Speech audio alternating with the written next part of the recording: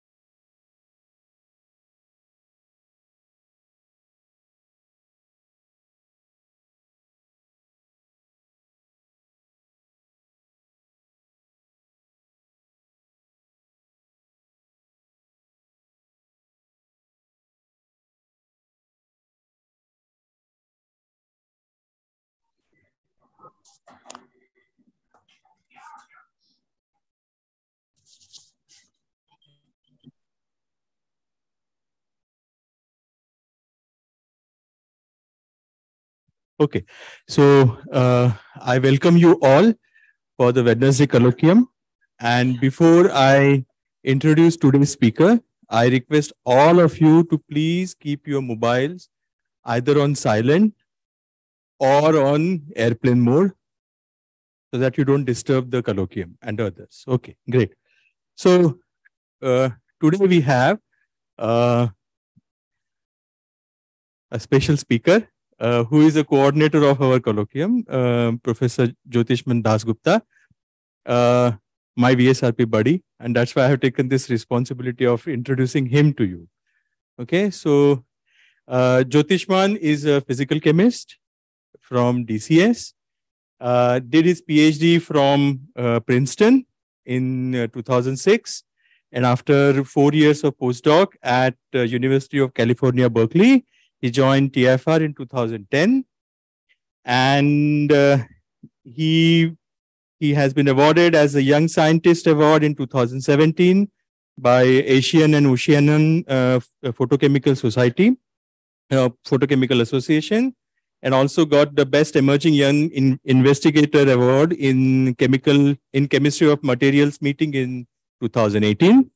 Um, he's also chosen as editorial advisory board member in JCP, JPC, and JPC letters.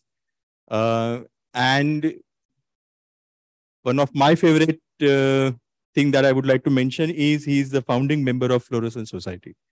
Okay, uh, so I mean that's the that's the best thing I feel. Okay, his research interests are uh, designing new materials for photo-induced uh, charge uh, generation, uh, developing new photoreaction methodologies and time-resolved optical spectroscopy of pi conjugated materials. And today he's going to talk about why this keeps coming down. Okay, and today he today he's going to talk about multi-exciton generation in organic molecules uh, via singlet exciton fission. So Jyotishman, sorry. Thank you, Vaibhav. Um, thank you for putting yourself up there to introduce me and uh, uh, bringing back VSRP days. Okay, so um, I, I, of course, host this series, but um, it always gets to me when I give a talk. So pardon my nervousness a bit.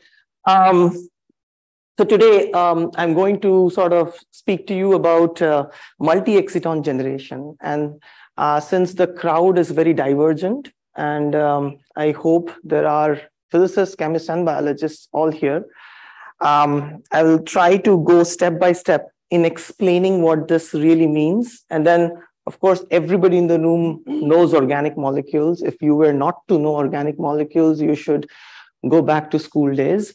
Um, and, um, uh, and of course, um, introduce a term to all of you that's marked in red, singlet exciton fission. We'll go through this um, in a pedagogical manner so that everybody is with me. But first, let's actually bring the context. Why do we care about multi-exciton generation? What is multi-exciton generation? So multi-exciton generation refers to creation of multiple excited states at the same time after absorption of a single photon. So a single photon absorption creates not one excited state, but more than one, two, three, four, whatever. Where is the significance? The context is, of course, solar energy conversion. We all know we are living in a world where the energy resources are going to be at crunch because of the ever demanding usage of energy by all of us. Um, and one of the paradigms that is going to give some uh, you know, uh, relief to the problem would be solar energy conversion. If you could use the energy that the sun provides every day to you in ways, creative ways that you can exploit and generate electricity, it would actually help you light things up, move in a car, or have a complete building which is completely powered by what sun's light is giving you. Okay. And this in itself is something that is a paradigm changing effort in India.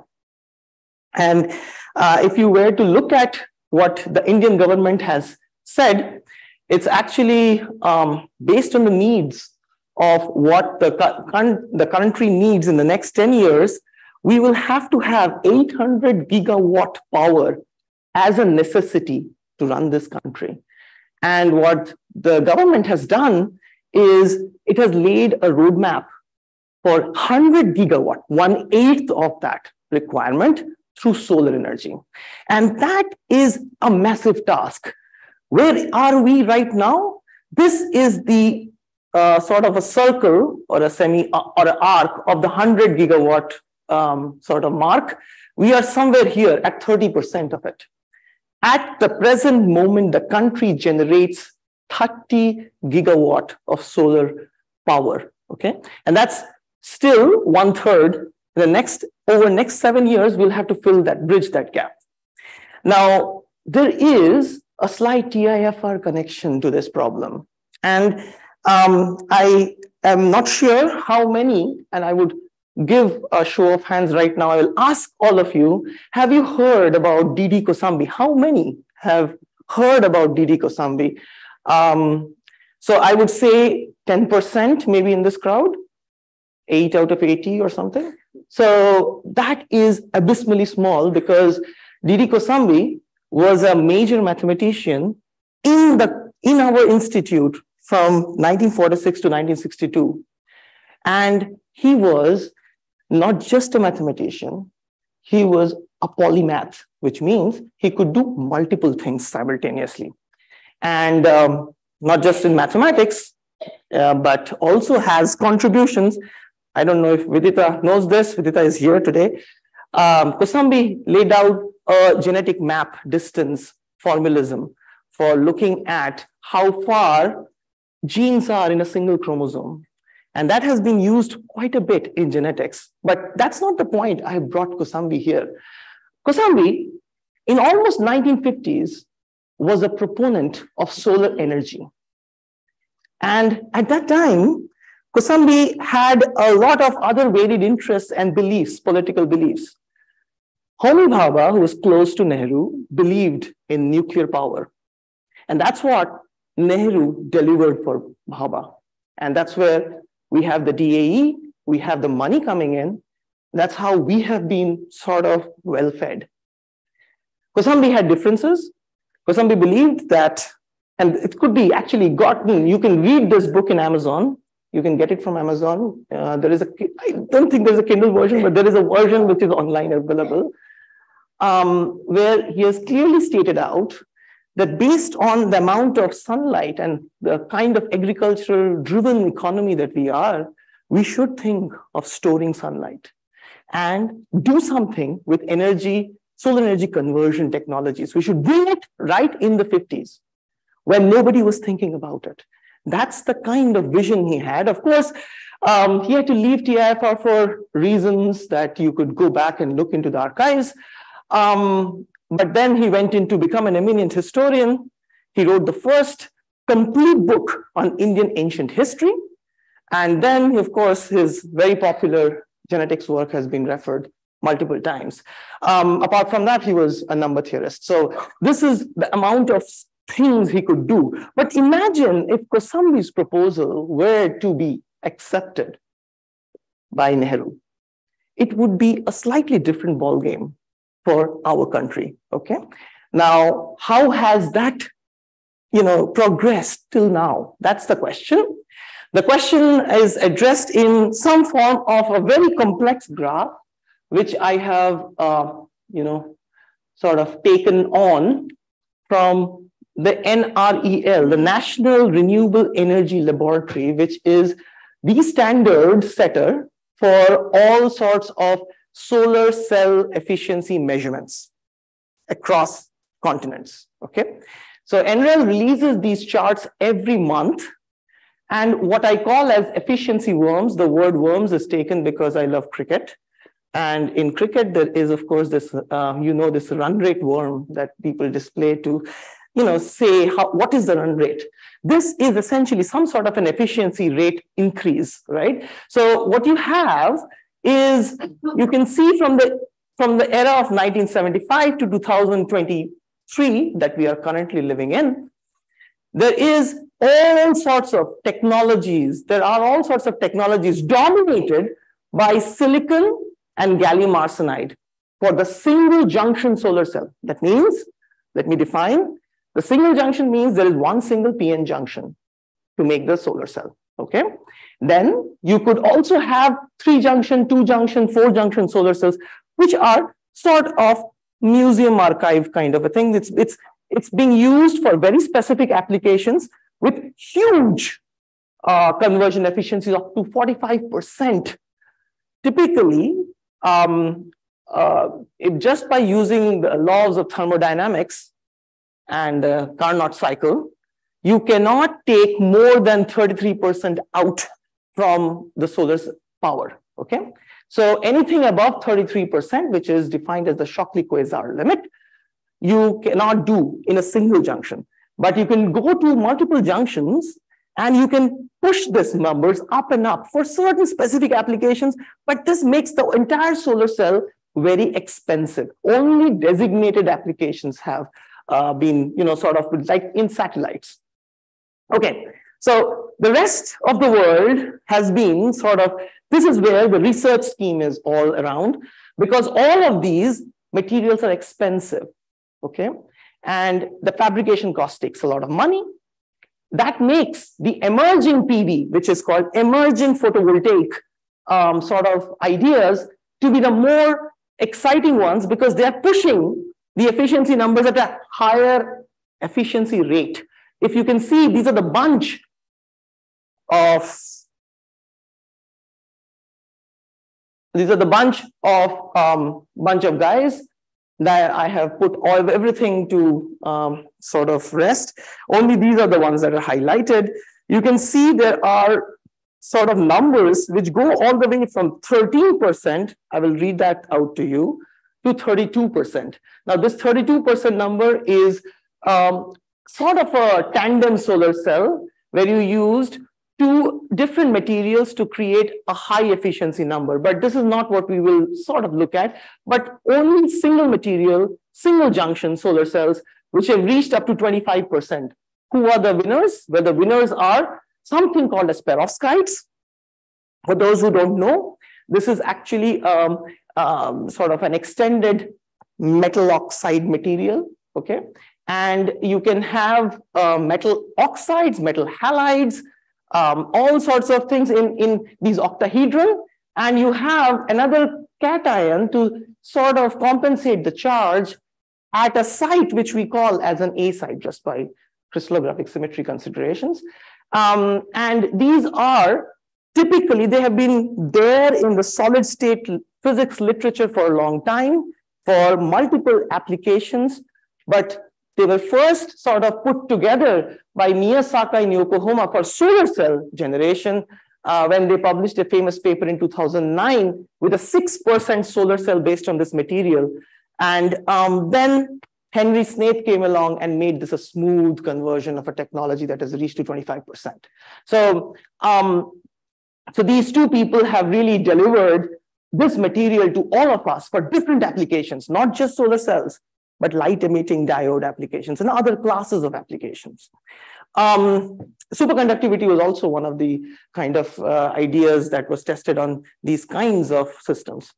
Um, the other generation of materials, which the chemists really love, by the way, chemists are also designing these kinds of perovskites without any question, but uh, more traditional chemists who like organic molecules, like to make molecules in the lab, they have this um, fascination for using these conjugated, pi-conjugated molecules and sort of make devices out of it. And Michael Grätzel was the first guy in 1991 who reported in a Nature paper that I can make a solar cell using a dye, a molecular dye like a chlorophyll. Chlorophyll, which is used by plants extensively. Our nature uses chlorophyll. So Michael Grätzel was one of the um, sort of pioneers of this particular material to make it into a solar cell. It was called as a dye-sensitized solar cell. Some of you may have heard this name. I'm sorry for Michael's uh, misrepresentation of name. It is not Mikhail, but it's Michael. And, um, uh, and Richard Friend pushed this technology from just small molecules to polymers, and he is in Cambridge. So all of these have sort of pushed the technologies. The organic polymers have gone up to 18%, as you can see, uh, along with quantum dots. The perovskites have reached almost 26%, which tells you that something is special with these classes of materials. It also tells you silicon is no longer the only option for us. Okay? And that's where chemistry and chemists have a huge role in shaping how the next set of five years are as we push towards 33% on all of these counts. Okay, so um, let's first now, with that background and context, let's understand what is so fundamentally challenging in designing a solar cell. So let's start from excitations. Let's start from how and where light absorbs, um, you know, the molecule absorbs light. So in typical um, semiconductors, there's a band gap. All of us pretty much have studied that in high schools and colleges, that there is a valence band, there's a conduction band. When you have this band gap, you have a chance to photoexcite electrons from the valence band to the conduction band, creating holes and electron pairs. In typical semiconductors like silicon, which is extensively used for a solar cell, these holes and electrons are at room temperature are not really seeing each other. They don't have a strong Coulombic interaction. And that sort of enables a p-n junction to work reasonably well. You can pull the electrons out at the junction to the n-type and pull the holes back on the p-type. So this creates electricity in the device. Once you separate these charges, okay? Now, in a non-typical semiconductor, like an organic semiconductor, these excitons are formed and they are strongly bound. They are strongly bound because the electron excitation in a molecule is pretty much localized in that framework.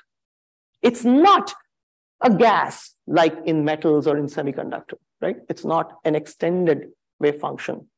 It is very localized, and that makes the interaction of the electron. If the electron doesn't have space to move around, it will see the hole right next to it.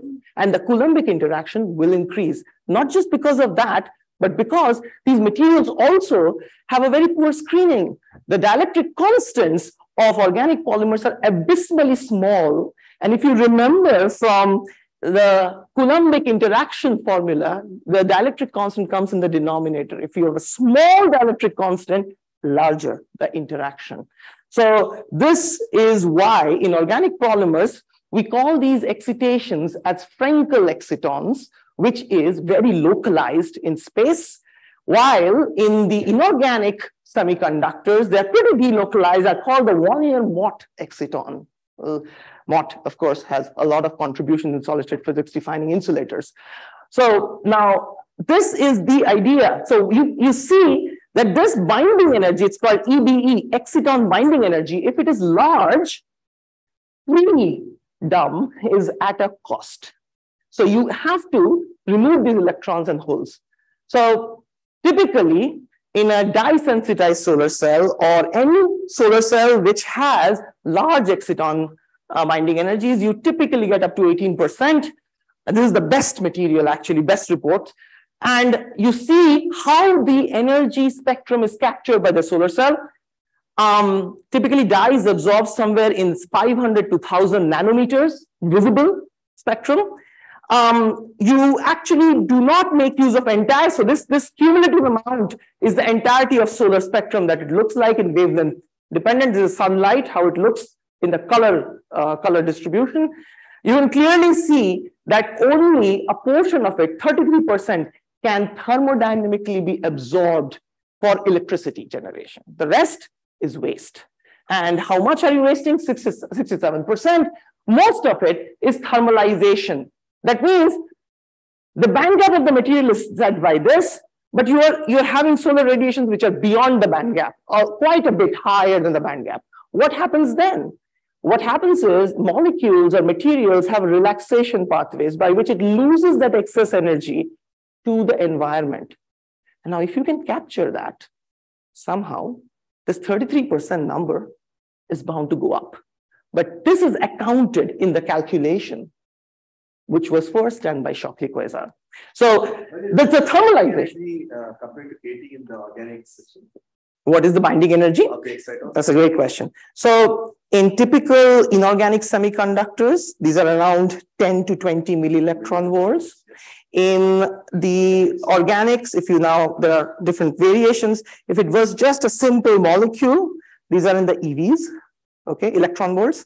If it was an organic polymer, it would be 100 to 200 millielectron volts. So these are large numbers simply because the, the dielectric constants are very poor. So now um, the thermalization loss is something that is a bothersome view. So you have to think of ways to capture light as best as you can. So yes. Not absorbed component in the IR. There, there are lots of not absorbed components in the IR. If if you are if your molecule has no absorption spectrum in the IR, you're losing them as well. Yes. The extraction losses are defined as when you still have the material painted on the electrode, you have an efficiency for the charge injection. You might create charges, but that injection is also a problem. So there are lots of ways in which you can lose that energy. And not just that, there could be there could be thermal, there could be just losses uh, to the different um, you know the barriers in the interface are coupling are important to set up. Doing a non-radiative, it just heats up the material. Yes. Gets into phonons and stuff. Absolutely. And there is phonon relaxation and other things. Okay, so uh, you're saying that that can be captured back? Yes, that can be captured back. We will, we will, we will, yes, we will, we will, we will, we'll talk about that. So, so this is what the idea is. Okay. Now there's also thing, this thermalization means you're losing the excess heat Hmm. uh, of the excited states, right? You charge, you may have charge carriers that are hot, but they're cooling down without the injection. Okay. Okay. hot carriers, right? So how has nature thought about this? So let's go back to biology, okay? Um, photosynthesis, if uh, some of you have gone through photosynthesis in school, you might think photosynthesis is amazing. It just takes, you know, chlorophyll, uh, there's light, and you produce, um, you know, a food, which is you reduce CO2 to carbohydrates, right? if you were to do a calculation, photosynthesis actually is 1% efficient. Photosynthesis wastes 99% of what it gets from the sun. It's only 1% that it uses. So there is a lot of wastage. However, we should not ignore it simply because it is beautifully set up. And we will just visit that right now. So, yes. That, that leads to a question that do you, you, worry about the eighteen percent efficiency? After all, solar power is unlimited. Yes, it's about the cost as well. So, so at what cost are you delivering it? So, um, so here is the here is here's the scheme of what nature does. Nature has hierarchical hierarchical structures of chlorophylls that funnels energy from a higher energy uh, state or higher energy excited state to a lower energy excited state. And it does that with a beautiful array of well-aligned chromophores as an aggregate sitting on a protein and a membrane protein. These are called light harvesting complexes. These light harvesting complexes have enormous enriching physics. They are a fantastic source for inspiration for how exciton migration can be controlled and localized. And this has been quite a bit of uh, sort of uh, work for many theoretical physicists, biophysicists, to understand the mechanistic details of how, from a higher energy chromophore, you funnel the energy, excitation energy, to 850 to 875, and then to something called as the reaction center, where the real photochemistry is going to take place, where catalysis is going to happen. So all of these have to be super efficient. Super efficient means you need to get at least 100% conversion after photon excitation. And it does that by channeling exciton migration as claimed by Graham Fleming and many others in a quantum mechanical manner. Um, but we are not going to bring that in right now, but there is a beautiful sort of architectural reason why energy flows in as it is in these systems. And um, unfortunately, chemists are not able to reproduce these as best as biology does. And that is one of the big challenges. As a chemist sitting in a room where I'm talking right now, if you can build this architecture that works as efficiently as a plant does for just the energy migration part, you are actually going to bring home a lot of new technologies. Not the solar cell, but you're going to bring home a lot of new technologies. So you can aspire to build such structures. That's one. But it doesn't solve the problem because in solar cells, you have these small units which has to continue go, going on and on and on. It has to work for 10, 20, 30 years. Plants have a way to regenerate their chromophores. Plants have mechanisms of photoprotection. Solar cells will not have that active programming to you know, regenerate these. So this has a problem. So if I look beyond this, what are my options?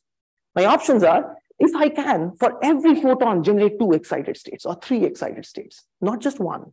I can make use of one of those out of those three to generate um, electricity. So is there a way out for this? Well, Viktor Klimov, and I think some of you know, physics community will know this guy, Viktor Klimov, had, had generated quite a bit of blue in 2000, 2004, 2005, where he reported for the first time in, as in quantum dots, there is a possibility of generating two excitons per one photon absorption. After three, four years of struggle, as nobody else in the community could reproduce his results, Bawendi in uh, MIT had reported that all of this is completely false, uh, sort of misinterpretation of the data. And it took people time to equilibrate with that, um, that paper that Bawendi released in 2007, 2008. But later on, other people like Baird had shown that there were problems in the quantum dots that were being used.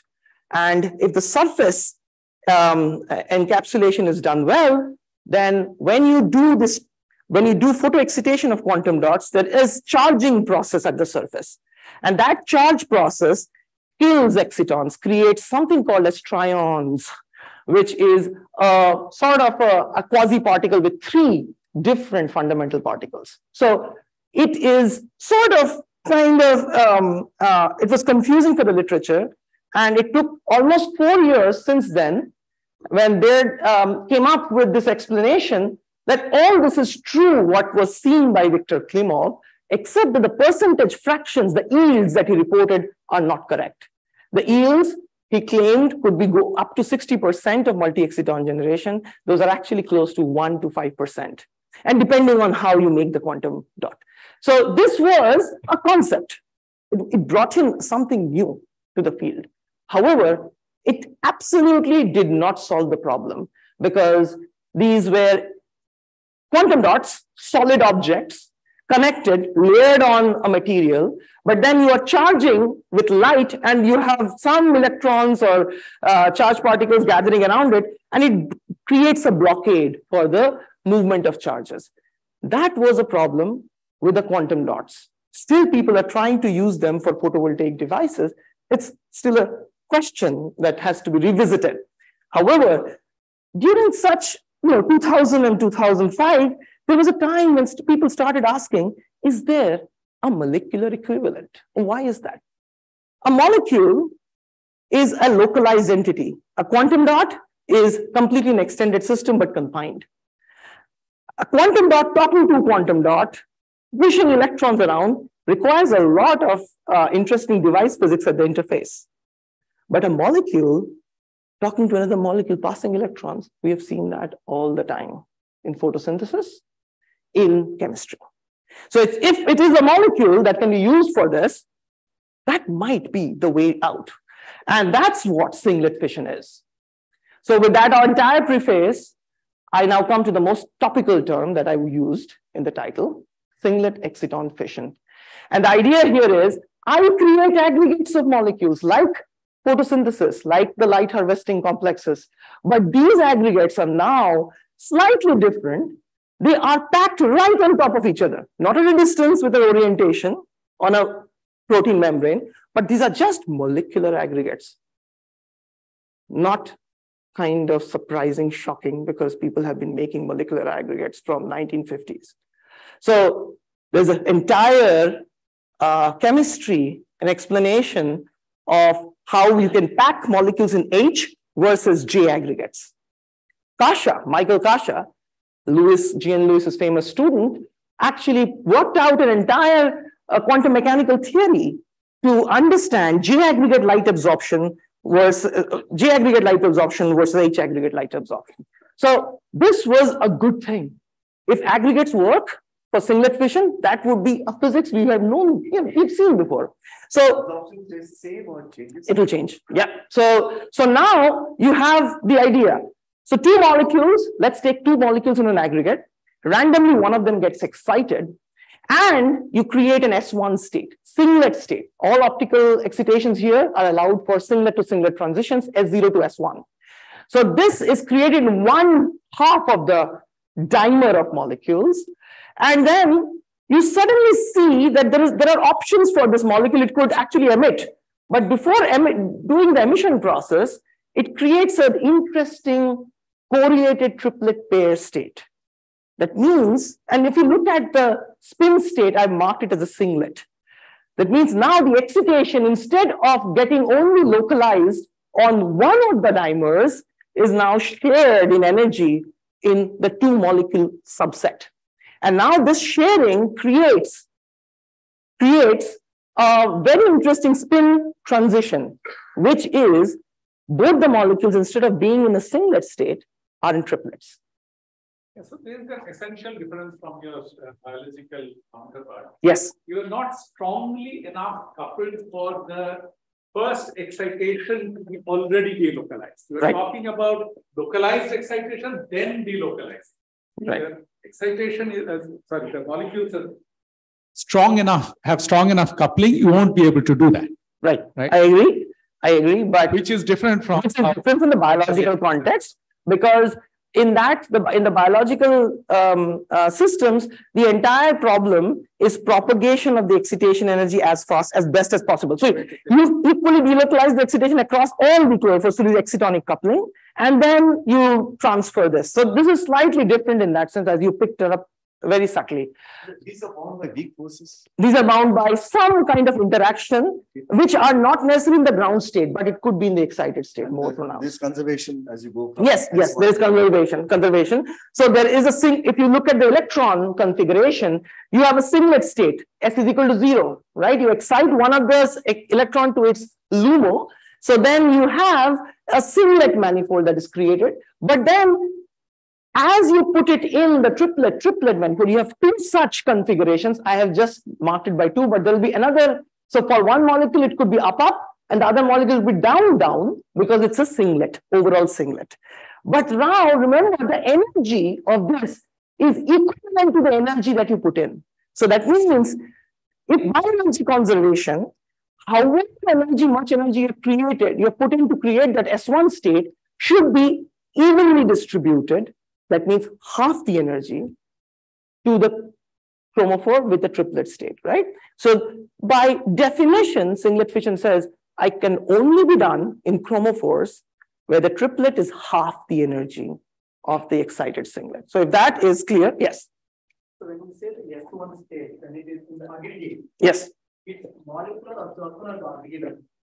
it's a molecular absorption. So the, when the J aggregate forms. Yes. Already the molecules are interacting, right? So how do You you, do it in H aggregate, you can do it in J aggregate, you can do it in the monomer of those aggregates. yeah. Yes, So what I'm asking is the monomer absorption, if it is different from the aggregate absorption. yes, you So can the- still do it. You No, can but- still do it. Yeah. You can still do it because you have an aggregate set of states, right? For the S1, right? And you can still share the energy amongst chromophores that can actually have a localized triplet. Okay, the localization of the S1 and the localization of triplet could be different. It could be five molecules on which the singlet is delocalized, but the triplet could be very, very localized to a single molecule. So that's one of the big things here that you have to think about the localization length of the excitation. Okay, so um, it could be done on one monomer, it could be done on multiple monomers, but you need to have those triplets localized. So once these are actually done on your pull you pull one excited, unexcited molecule to its excited state, you have created ways in which now spectroscopically you can track. You can track these states because I know there is a loss of a ground state molecule. So in a spectroscopy signal, I should look for loss of ground states. And if this happens, I have evidence for singlet fission. And what would that state do? Well, it could it could just stay as a TT pair state. But then all the physics that we have learned says triplet triplet can recombine. There is an entire vast literature that says triplet triplet annihilation happens at high fluence of photons, right? And it can create singlet states and ground states, right? So that is one way to think about the fate about the TT pair state. But there's another way. If there are thermal fluctuations and the TT pair state binding energy is less than 10 millielectron volts, which is typically the order, KT can force these triplets to hop out of their you know, regions of influence. So if you were to now start hopping in the aggregate morphology, you start separating these two triplets spatially. So if you were to just think about this reaction that it looks like S0 plus S1 after excitation creates a TT pair state, and then I can independently create these free triplets on a morphology that allows for doing that. So in hence, yeah. How far can they migrate? They can migrate microns. Yes, in, in nanoseconds to microseconds. And you can see them by ESR and stuff like that? We, yes, yes, you can. So now the free triplets are generated at the cost of one. So this is where the big deal is. It's a molecular excitation. Remember, quantum dots are delocalized excitations on a particle. This is a molecular excitation. You have two molecules that are having excited state. Now they're moving apart. The excitations are moving apart. It's a huge benefit to this, right? So it's a bimolecular process, but if you can visualize it, and this is a paper that came out recently in 2021 that shows sort of in a cartoonish manner, it's a model, that how the excitation is delocalized, right, Kalaivaran, as you asked, um, with a core center at the center molecule. And then you start creating triplets which are very localized. Okay. And that actually, if you use this situation, you start separating these triplets for doing fundamental work, chemical work. Right? You can use these triplets to do electron injection. You can do use this triplet to do light generation. A lot of other things can be thought of. So this is or catalysis, for example. So this is the idea that two triplets at the cost of one uh, photon. So now the fundamentally going back again, what do we need? The first event is a light absorption in one of the molecules. It could be this, it could be that, doesn't matter. And you have sort of an S1 state with an S0. Now, the second event is pulling this S0 directly to T1 while S1 comes down to T1. So it just walks down, right? Now, this is the total, total energy system is energy of T1 plus energy of T1. This should still be energy of S0 and S1, right? So the energy conservation has to hold, but you have created these two molecules which are excited. Now, if you look at the electron configurations, and you can think of direct mechanisms of how once the S1 forms in this kind of electron configuration, you can have a spin exchange between the spins here, such that you can directly create a, um, sort of localized triplets on both. Yes? Yes, that's a great question. There are two parts to it. One is the electronic part, which actually is dictated by the molecular orbital overlaps. The other is actually the spin part. And both these parts have independent contributions to the process in different time scales. So I showed the direct mechanism. The direct mechanism operates for if singlet fission operates within you know 200 femtoseconds. Both the spins, there's a spin exchange and interactions between the spin and spin. So you have to account for that in the Hamiltonian, as well as there will be charge transfer interactions between the two molecules. So you account for the charge transfer Hamiltonian, you account for the spin interactions in the dipolar sense, and you write a combined Hamiltonian and evaluate a Fermi-Golden expression. So that would give you the rate for this and sort of give you the idea of how this process is happening. And these are all in singlet manifolds, by the way. The uh, interaction would be dipole dipole at least for the spin part. I'm trying to Yes, write down in my head. yes, and a charge transfer interaction for the electronic part. terms. Absolutely. At least two terms. Part is like Yes. resonance energy Yes, transfer. but kind. It's like half of it, which is interesting. Right, absolutely, absolutely. like- Yes, yes, yes. Okay. So, so there, there are other kinds of direct charge transfer mediated processes where you can see an intermediate of a charge transfer and then go to this particular state. Yes, Ravi. Yeah, sorry, slightly different thing, basically. It's almost philosophical. It's organic molecules, right? The design principles appear clear. Why has nat- nature not chosen to boost its efficiency this way? Why, why is nature not? Nature not gone this way. Yeah, why has nature not chosen this route to boost its efficiency? It, it, no, it has. No, that's not. It has. That's not the point. Are thermal fluctuations relevant in this case? It has, it has. Um, we have not published this paper, but there are other places in which uh, people have reported that aggregates of carotenoids in membranes.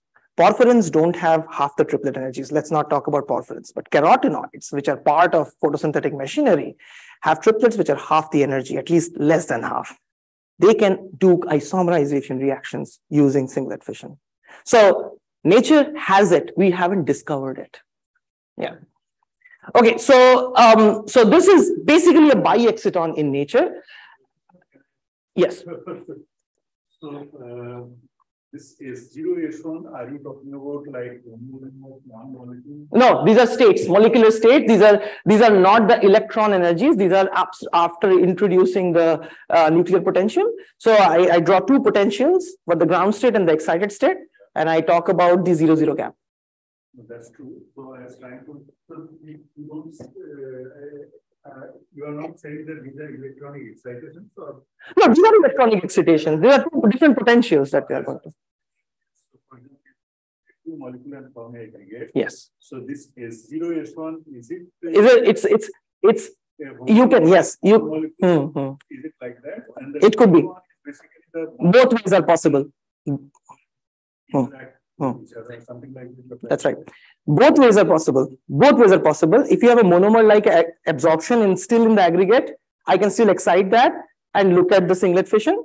If it's an aggregate and an aggregate absorption, which I have to couple the two chromophores and generate new states, right? Or in the in the localized basis of these states still defined as zero and S1, it both can happen. Both. The other thing which Yeah. I was thinking is that normally the states will have a higher energy compared to the singlets.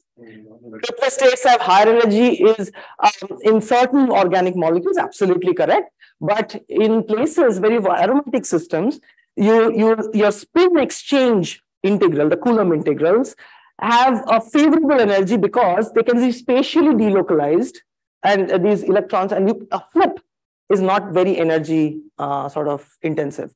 So, Other thing is that top right one.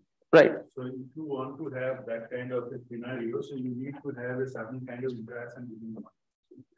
yes. Otherwise, I mean. Absolutely. Because the. Absolutely. Talking to each other. Yes, these are two possible mechanisms. It depends on how the molecules are packed. What is the orientation between the electronic? Yes, yes, uh, yes, electronic states, right?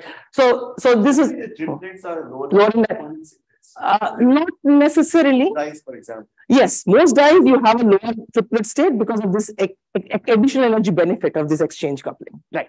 But uh, these are really low. These are really low. These are half the energy. So only special molecules have that. Now, um, Jyotishman, I have a question here. The host. oh, oh, oh, okay, sure, sure, sure, sure. Yes, yes. Yeah, see, I have a question. See, when this triplet pair is formed, they are the uh, next, for example, uh, nearest neighbor molecules which are interacting with each other. Right. But now you said that the thermal fluctuations actually make them uh, get separated and move around, right? Right. Now I can imagine in this particular scenario, there must be some coherence Yes. between the two. Very good. What happens to this coherence when this thermal fluctuation takes it around? uh, the coherence dephases out Yeah. uh, in few picoseconds. And that I'll just come to. That, that's fantastic question you've asked. I, I just wanted to just define a few things.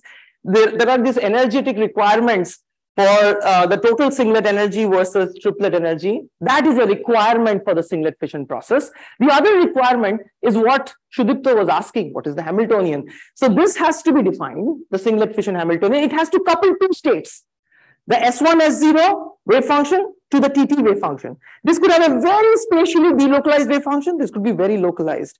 So this matrix element is critical and you have to evaluate that matrix element to get the rates. Okay, so now let's let's just quickly uh, uh, surface the history of this process. Singlet fission has been reported in literature not as singlet fission but as an observation of fluores delayed fluorescence in anthracene crystals as well as in tetracene crystals, in crystalline anthracene and crystalline tetracene.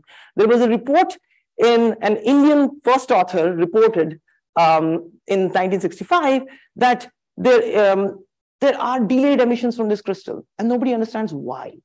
And um, the, the, the reason that was understood later on was because there was singlet fission happening in these crystals that quenched the initial excited state. And then when the TT came together again, they did annihilation and did give a delayed fluorescence signal. So this was reported in 65 and 68, okay, two independent publications, uh, two papers before an entire workforce of literature came into being pinnacled at 2019 by Marc Baldo at MIT, who constructed the first solar cell, a silicon-based solar cell, which has singlet fission material and showed an advance of the efficiency from 29% to 35%. And Baldo showed that this can be done with tetracene crystals as an additional layer. Okay. So yes, Shudipto. Sorry, just a historical interest. Was that S Singh? Yes, it is S-Singh. So who is the first guy who uh, experimentally de- demonstrated multi-photon absorption also? Okay. So That's he's the same guy. because I don't know The about. National Research Yes, Council. National Yes, Research Council yes, in Canada, yeah. Yes, yes. He's the same guy. Photon in uh, naphthalene crystals are. Nothing, this is a he worked in anthracene also. So I see. So it's amazing. yes. You don't know about that. Okay. So um and and um so anyway, so the 29% went to 35% with Baldo's really mammoth work. Um, and that said to everyone, including us, this particular method has some legs for application. Because if I can remove these triplets from each other, not seeing each other, you can really inject it and increase currents. And um, this was the idea. Baldo showed that you have a singlet fission material, you have an independent solar cell material. Both of them absorb light. Okay. Charges are being generated directly in this, but there is an onset of charge from this material as well towards the electrodes. And that added current really boosted the solar cell efficiencies. Okay. Um, now coming back to a little bit of chemistry, I don't have much time. It seems like the 45 minutes are gone, so I would request 15 minutes more. Um, so, uh, so this is the yeah, sure, sure. So, What you are doing is that you are using a higher energy, say laser or whatever source you have. You are exciting to say S0 to S1 and allowing it to have this kind of singlet fission that you are talking about. Now, if I think of about the efficiency of this kind of process, which is more like a secondary process, it would be, I mean, the um, efficiency will be much lower. And instead of that, if you do have this T1 states and use energy half of that, I mean, better efficiency. So the quantum, where's the, the problem? As you were No, making, you can have much better efficiency because that's a first order process. And uh, so you have the energy states Okay. available and so on. Okay. So why do you go for this Fantastic. at all? fantastic. So singlet fission, as it has been put together um, by um, uh, by no colleagues world over, it has been demonstrated in many cases that you get 200% quantum yield of the free triplets. That you cannot get through the direct process. A direct process, which is going through the singlet state to the triplet, will only launch you into, if it is perfect, to 100% triplet. But singlet fission promises to give you two 200%. And that, Why is it strange? The you have the energy, the triplets are rightly set at this right energy, so you're redistributing. What you're doing is essentially redistributing the energy and creating two triplets instead of that one photon singlet. So, so this is where the difference is. And if you can do that, that's what multi-exciton generation is in quantum dots too. The band energies at which the electron and hole will localize ultimately is say EG. Now, if you give 2 EG, 3 EG band uh, excitation energies, you can have two of these uh, coming together as electron pair. Yeah. No, no, it's okay. You see that whenever you, you think of just as probability, Yeah. like when you excite a state, in the excited state, of course, the number of states that you have available, the probability is much smaller. than Right. The number of states that you have. State. Right. So if you have a direct excitation. Right. And you are on resonance. Right. You have a much higher probability to have this kind of. Absolutely. Everything, everything is correct. Everything is correct, but you don't get more than 100%. So in singlet fission, you get 200%. No, no, it's not smaller. That's what I'm saying. Fluorescence is in nanoseconds. Singlet fission is in picoseconds. Inter, in, intersystem crossing is in microseconds. So if I'm done with the excited state, I just took it out as singlet fission and not waited for the slow intersystem crossing. Quantum yields, you win, right? So that's where the, the timing is important. You need to depopulate the excited state to go into the TT pair state. Okay, so that is possible only for few of these classes in the chemical space. One of them is a biological chromophore. It's a carotenoid. Um, the others are all human-made, um, you know, constructs. Some of them resemble um, the, the, you know, the famous C60 parts of C60, which is pentacene. Um, you know, diketopyrrolopyrrole, which are sort of, uh, uh, sort of dyes, organic dyes, which have been, you know, synthesized in the 50s, 1950s, because of BASF's huge contribution to create dyes with large molar absorptivity. Um, then there, there are these classes of molecules called perylene diimides. And if I were to just um, nudge the physicist in the audience, this is a naphthalene core, that's a naphthalene core brought together, and it's a perylene, it's a perylene unit, as it's called. Um, you will get these PDI dyes, which are absolutely fantastically strong absorbers of light in the visible. And now, due to our work, we have now introduced a new class, which is NDI, which does not follow the triplet energy levels, which is its singlet energy is at 2.1 EV, but the triplet is at 1.3 EV. And this has broken the norm that you don't have to look for only half the triplet energies. In certain cases, by some forcible restrictions of molecular geometry, you can compensate for this high triplet energies and still do singlet fission. You can make it asymmetric, you're saying? Yes, you can make it contorted. You can make it not a flat chromophore, you can bend it. Just TT half. Yes. Uh, different ratios. Uh, that is not what I meant, but but yeah. No, energy conservation will still hold. I'll tell you why. Because in an aggregate, you might have modified the TT pair state. Yes, yes, yeah.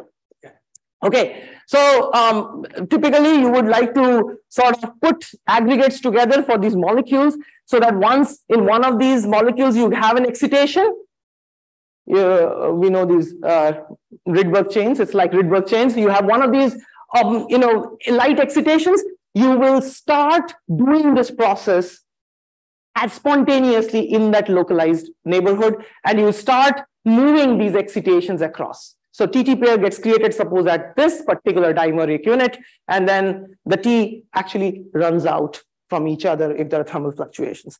Um, you can have these as films on electrode surfaces. This is what Baldo actually established. Uh, you can also think about these in the minimalistic term, just to understand singlet fission in dimer. So chemists can make these very nicely constructed molecular dimers where you just optimize the orientations, the distance, and start asking how fast is singlet fission? How fast is singlet fission here? How, how, how fast is it here? Is there a singlet fission? So that in itself is an extreme control that chemists have, and people have been looking at these molecular dimers. And of course, in conjugated polymers, where again the triplets are half the energy. So this, all of these have good parts all of these have some not so good parts. Like if you just make an aggregate, there's no control on packing. If you were to just have dimers, there's always a TTPS that will bound to each other. They will never free themselves. So there's nowhere to go. So there's fast recombination. And if you make polymers, you just have to make sure that they're not polydispersed, but have the same chain length. Otherwise, there'll be a problem in packing. So um, this is the idea that I was coming to. You have these schematics. Um, uh, on top is the electronic states, the richness of the electronic states. You have an S1, S0, TT, one TT, one TT can be separated, uh, weakly bound TT, and then completely se complete separation of free TT. But then under these, states are the spin richness to all of these, you can have a singlet TT or you can have a quintet TT or you can have an intermediate triplet TT as well, because these are two S is equal to one particles that you are putting together, right? So you can have S is equal to two to S is equal to zero combinations. All this spin richness is buried inside this, as well as um, you can sort of now think of electronic coherences once you excite between the two aggregate molecules, as well as spin coherences, as you said. Electronic coherences dephase in femtoseconds, in hundreds of femtoseconds in these aggregates. Spin coherences at low temperature have been measured till nanoseconds. Okay, so these are these are quite a bit spin correlated. You can actually do a lot of interesting spin physics with these systems as well. Okay, so um, uh, the the challenge has been, of course, as Kalava's question, oh, Professor Kalvar Matthew's question, um, uh, um, motivated this idea that um, I just go from S1 to T1, I can just do it indirectly, right? So how do I say if it is intersystem crossing or singlet fission? I have to detect this. I have to detect optically or magnetically these TT pair states. That's the challenge. And this has been an extremely difficult thing to do simply because optically, most of the time, the TT pair states and the pre-triplet states almost look similar in optical absorption. They're broad, featureless spectrum. Sometimes they have a maxima, which are very similar, the TT pairs and the T. So it's very hard to sort of evaluate these signatures, right? So this has been one of the big challenges for us.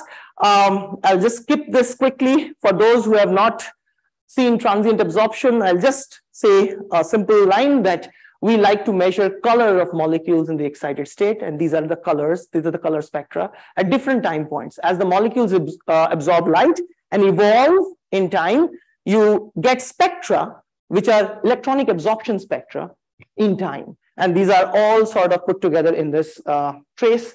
Um, this is called the pump probe spectroscopy, where we measure these uh, different kinds of states absorption and when do they decay, when do they emerge, as a new state. Um, we can also do the equivalent Raman measurement um, um, in, in, in, in this institute, um, and uh, where we can actually look at Raman spectra at each um, state the molecule or the material is visiting. Okay, so as the evolution process happens, you sort of look at different kinds of multi-excitonic states, and uh, we can sort of map them all out with vibrational probe. Um, so there's uh, there's hardly much time for me to show some of the interesting results, but I would just like to capture uh, two of these um, uh, two of these uh, important uh, work. I don't know why the picture is missing here, but um, Uh, this this particular work, which we published almost three uh, two years back in lycopene H aggregates, was uh, sort of the starting point for our group in terms of venturing into um, singlet fission more constructively and analytically. Um, there was, a, um, so Arup Kundu, who is um, my just graduated PhD student, he is joining from Zoom here. Um, he um, was part of all the singlet fission work. His thesis is full of singlet fission, uh, where he looked at these, these molecular systems with lycopene as carotenoids, as well as participated in one of the nice collaborations with um, uh, Pritam Mukhopadhyay's group in uh, Jawaharlal Nehru University in New Delhi, uh, where we now have a way to construct, you know, make a chromophore singlet fission active by sort of tweaking its structural geometry. So um, just quickly, I'll just refresh, um, you know, just just put things on, on perspective. Um, biological systems, as uh, uh, Ravi had uh, asked me, uh, Ravindra Venkat Ramani has asked asked me, um, um, how do you actually sort of think about if biology, why has biology not used it? it? It's actually, it has used it in the thesis of Vijay Lakshmi. We have yet to publish this because there are some controls that we have to still carry out. But it was very clear to us and to Vijay Lakshmi that um, nature uses um, singlet fission to do isomerization from its cis like tetracis lycopene to all trans lycopene. It's isomerization of the double bonds. And um, this was discovered accidentally in a membrane preparation um, uh, where we sort of shine we you know put light on lyco prolycopene and we could generate a lot of lycopene. Uh, this was one of the big moments for us because we could see in the transient absorption spectra triplets formed which were different from what uh, monomer lycopene would look like and give. But that kind of told us when we revisited the lycopene energy diagram of S0, S1, S star, S2, all of these told us that triplets are really, really down in energy as compared to all these allowed singlet states. And if you could pack these up in the right geometry, you could do singlet fission. Arup picked that up and um, he generated this kind of an aggregate which we call as the lycopene H aggregates. These are actually nanoparticles of organic molecules, lumps of organic molecules, but very crystalline in some sense. Um, and we could sort of clearly demonstrate that the monomer absorption of the lycopene was at 450 to you know 500 nanometers, but the aggregate absorption has shifted. Um, and the aggregate absorption shifted blue.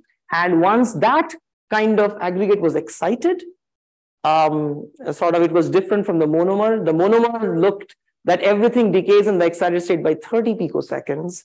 But when you excite the aggregate at two nanoseconds, you still have signatures. That means there are long-lived excited states in the aggregate. Where is it coming from? And um, after a lot of analysis and work, we showed that indeed these are coming from the TT pair states, which have a different absorption as compared to the original singlets. And there is a rise of the ground state population which got excited. So there's something called a ground state bleach signal in transient absorption, which tells us accurately how many molecules are there in the ground state post excitation. Okay. And if that number increases, that's a process that's usually unheard of. Because you remember in my singlet fission cartoon, one of the unexcited molecules went to the excited state. So that means the ground state bleach should increase. And that's what exactly was concomitant with the rise of the TT pair state. And we could convince ourselves that indeed we have a correlated TT pair state, which distributed itself after um, sort of thermal fluctuations into free triplet. And that sort of was proved convincingly by Arup by doing simple triplet sensitization measurement, where you create the triplets directly without going through singlet fission to energy transfer from another molecule's triplet. And you do triplet triplet energy transfer, and you could see that indeed the spectra all matched up. Um, we could also convince ourselves using EPR spectroscopy, polarized EPR spectroscopy, that indeed there are triplet TT pair states, not the quintet, and of course, singlets cannot be detected in an EPR in a magnetic spectroscopy. But uh, so the triplet states were detected, triplet TT pair states were detected. This is in collaboration with Robert Bittl and Naitik Panjwani. Um, overall, we could understand that morphologies of H aggregate in these lycopenes create long-lived TT states, which are absolutely not possible in quantum dots. In quantum dots, all that, you know, um, um, this guy, um, um, Klimov observed, uh, Klimov observed was everything on the biexcitonic state decayed in hundreds of femtosecond. Look at this biexcitonic state, lives for 300 picoseconds. This makes it absolutely a practical approach and usable approach that once you have the dissociation of the TT pair states, you can make, make devices out of it. Um, this was kind of interesting just to, from a fundamental physics point of view the triplet lifetime on the monomer is 12 nanosec 12 micro uh, 12 microseconds while on the aggregate is 150 microseconds it's another very interesting result we have to understand um, And the last um, part in just two minutes, what I will say is there is another system which we now worked with Pritam Mukhopadhyay where we showed only dimers.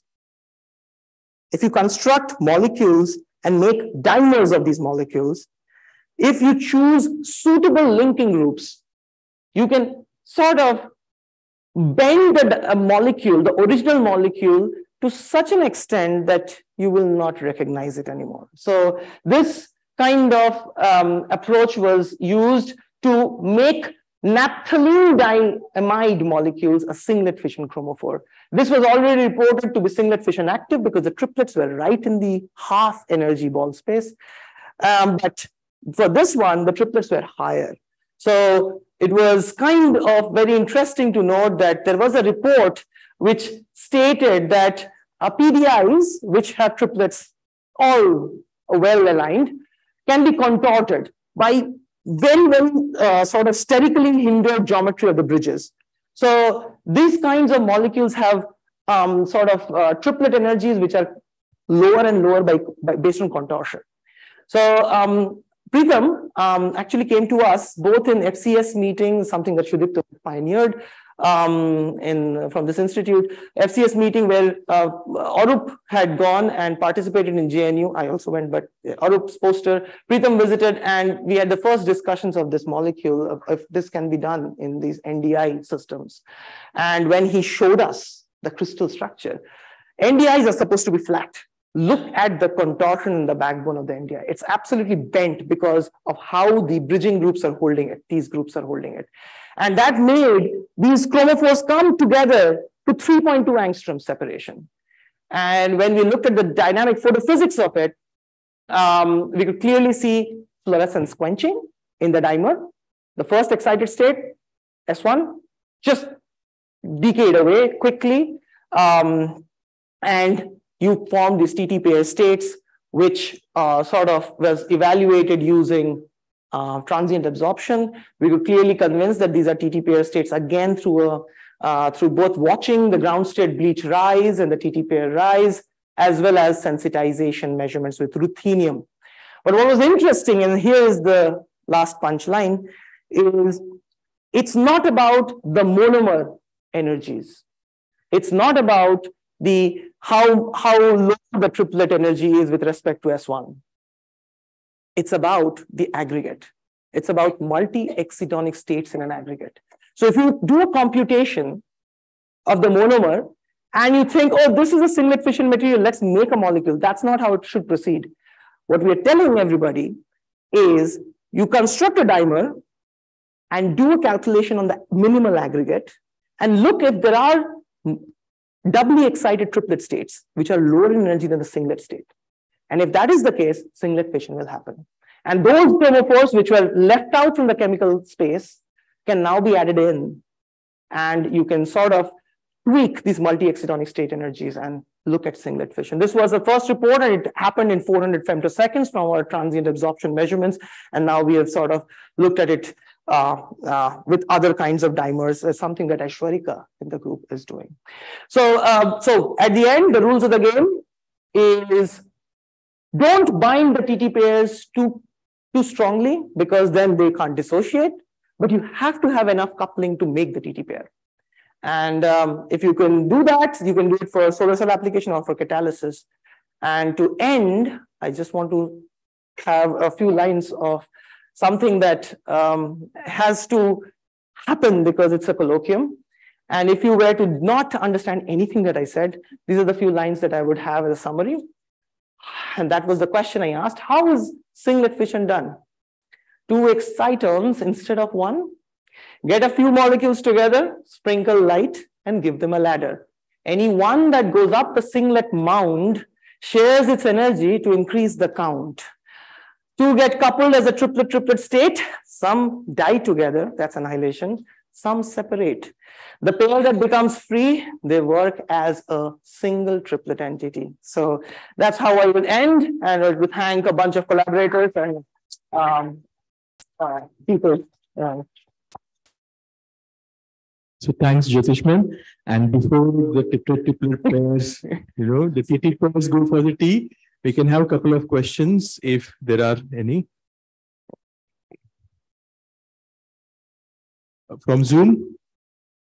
Yeah, I think Vamsi has and. Yeah, I have, I have Yeah. a quick one. Yeah, Vamsi. Yeah, thanks, Teddy. Very nice talk. So I was just wondering, uh, what is the role of spin orbit coupling? Yeah. Does it aid or does it, you know? uh, Absolutely. block it? So there's, there's this work that we uh, recently did uh, last year where we showed that um, um, the spin orbit coupling makes the pathway branched, unfortunately. So if you have singlet fission, there is no room for spin orbit coupling Hamiltonian directly. You only take the spin spin interactions, okay, uh, into account for defining the singlet fission Hamiltonian. But the spin orbit coupling will independently put the system of the X1 to its own native triplet, right? Without going through the singlet bimolecular process. It's a sim- simple monomole- monomolecular process, right? So that actually kind of branches out the excitation from singlet fission. It takes the excitation through that route, alternate route, and you can create triplets from there as well. So you have to be careful when you are accounting for the total triplets, how much is spin orbit contribution or intersystem crossing contribution versus how much is singlet fission. So this is actually kind of now put into literature. This is um, uh, not very well understood at this point. Ah, so uh, one thing, so this is uh, going back to what Carlo was asking. So uh, you, if you put a single uh, light source at half the energy, uh, uh, why does why is the efficiency It's not? not spin allowed. Yeah, is, why didn't you answer it that way? I mean, Oh, because um, you can still create triplets through the S1 manifold through the but you don't have enough, enough energy, right? If you give half the energy. So I'm saying instead of a blue photon, you have a red photon. Right. And I thought the question was, can't you have just No, I red think- photon and create Oh, triplets? Okay, so um, uh, when I when I have half the triplets, I have no way to access those triplets directly from the spin ground uh, ground split, which is singlet. That was not the question. That was not the question. It's The- forbidden. Yeah, yeah. Okay. Ah, And the other thing is that do can I think uh, uh, think of them? So suppose I don't have the aggregate. So when is it that we, I start thinking about the aggregate? I mean, I was trying to picture it as two two particles coming together. That's fantastic, and that's one of the ways Arup, who has done this work, bulk work, explains this idea. You bring these triplets, right? If you have independent triplets, let's think about the reverse process. You you have these two triplets in two molecules. You bring them together, right? Only at a certain distance there is an interaction, and that interaction may be Coulombic in nature, spin-spin in nature. A couple of things you can think of, but they go to a bound state, right? So if you were to sort of think about it from that end, it's a dipole-dipole interaction from, from the two triplet particles, S is equal to one particle. And if I were to think of a monomer, I don't have that option, right? So now if I bring a singlet excited S1 versus S0, or um, ground, ground state molecule, and I bring them together, right? Again, the forward problem. This has probably a little bit of interaction, no spin interaction. Absolutely. S is equal to zero particle, S is equal to zero particle. But once you have a coupling established between them, there could be through the charge transfer pathways and spin exchange pathways, you establish the dipole-dipole interaction. And that happens in hundreds of femtoseconds to picoseconds. And they have to be in coherence, spin coherence for that. Yeah. You said triplet triplet annihilation doesn't uh, compete with this, It competes. but then. So you dies, right? With a triplet triplet annihilation, you kill that TT pair Yeah, state. So the thing is, it can happen in two ways. One is, um, once you form the TT, you diffuse with the TT as a quasi-particle, right? Or you can separate and again diffuse. You can have a random encounter again and then do annihilation. So annihilation at the start, annihilation because of random encounters, both are possible as a, uh sort of a recombination source. So the, the, uh, the aggregates are known for uh, uh, the helping the exciton to transport, right? Yes, So you have a singlet exciton hoping right. singlet fission to happen. Right. What is a com- competition between the singlet exciton, exciton transport and singlet fission to happen? Fantastic. Triplets are very slow. Triplets move abysmally slow as compared to singlets. Um, and hence, the breakage of the TT pair state is very, very critical. If you don't break them, the hopping rates, are since they are slow for triplets, they usually tend to recombine. Yeah. Okay. Yeah. So it's it, uh, I, what what I would say is singlets move fast, but if they encounter an S0, which they can couple to, they can be trapped there for some time till the TT pair dissociates. But singlet exciton transport itself it has to encounter N0, right? Because Yes, it has to. It has to. when, what is the difference between the singlet exciton transport and the singlet fission process? Yeah. Oh, If um, so the transport takes few nanoseconds. Singlet fission happens in picoseconds. It's almost predisposed. The last question. Uh, I have two questions, maybe knife questions, Yeah. but uh, uh, this singlet singlet fission, this process is basically, uh, as I understood, the spin is changing Mm. what you are creating and what Mhm. is the final state. But why not then? it- This pr- process should have some energy cost. It, right? okay, so there's a conservation of spin still. Uh, what we have is S is equal to zero particle, S1 is zero. It's a combination of S is equal to zero particle. And we have S is equal to one, S is equal to one. That's a combination still coupled to be an S is equal to overall zero particle. So there is conservation of spin, but once you form this, there is an inherent spin richness to it. At different temperatures, you can trap the local spins of a triplet and a quintet.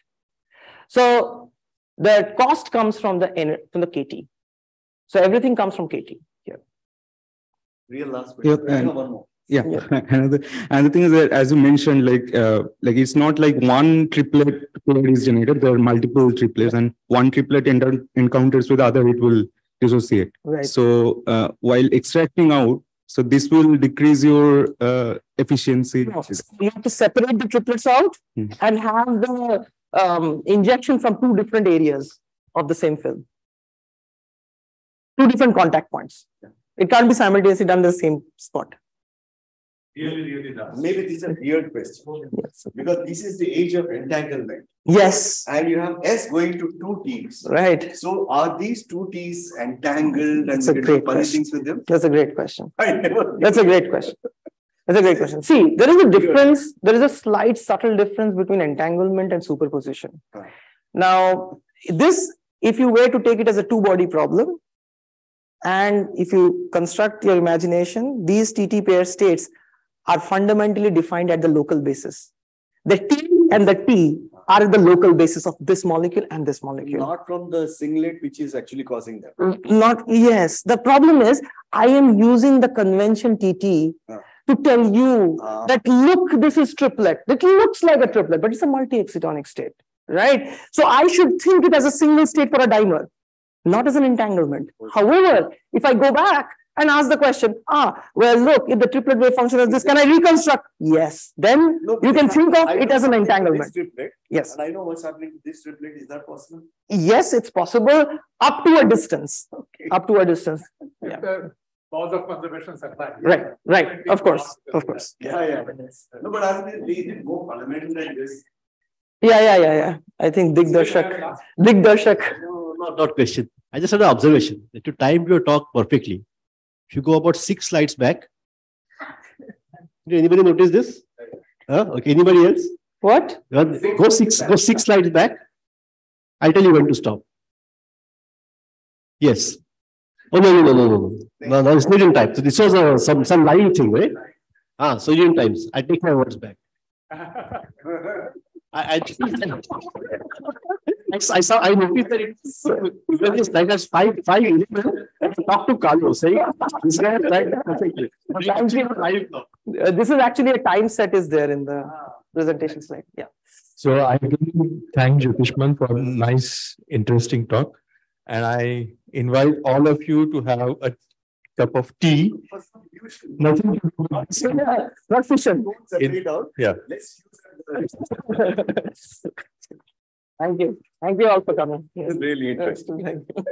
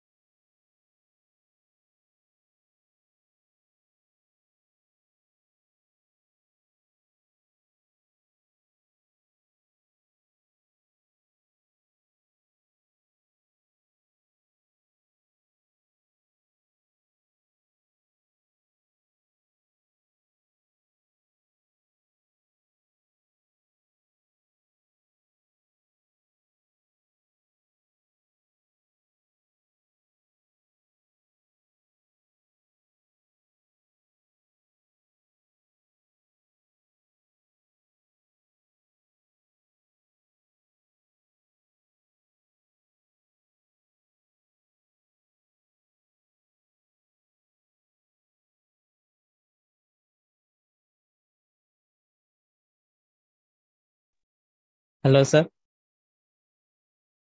Hello. Hello.